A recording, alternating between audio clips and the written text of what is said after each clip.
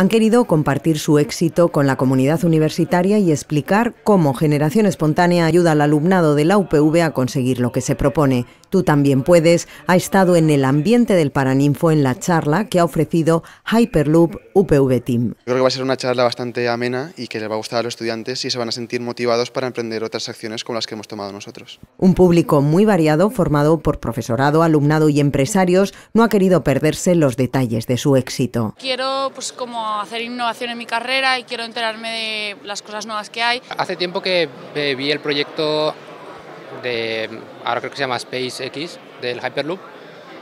Lo, vi en internet y me interesó el tema. Estamos muy contentos y, y dedicados a ellos, a ellos.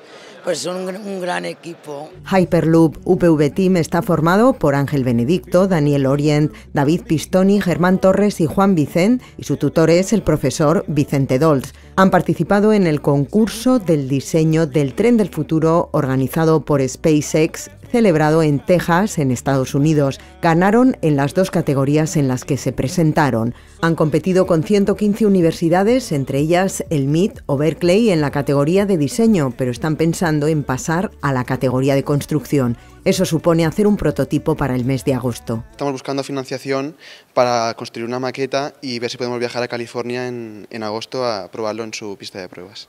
Pasar a la construcción supone conseguir de un cuarto a medio millón de euros y aumentar el número de miembros del equipo. Se están planteando este nuevo reto. Hay algunas empresas a las que les ha llamado la atención el innovador sistema sin raíles que han diseñado. este acto está Stadler eh, que nos ha apoyado desde el principio y está Gesiva también, que es una empresa que hacen diferentes, eh, diferentes máquinas eh, de transformadores, electromagnéticas, que nos, harían, nos ayudarían con el sistema de sustentación y luego también Indielec, que es una empresa que está en, en Paterna, que también ha mostrado su apoyo. La conferencia ha estado patrocinada por Stadler Rail a través de su cátedra de empresa con la Escuela Técnica Superior de Ingeniería del Diseño, cátedra que también ha patrocinado al equipo.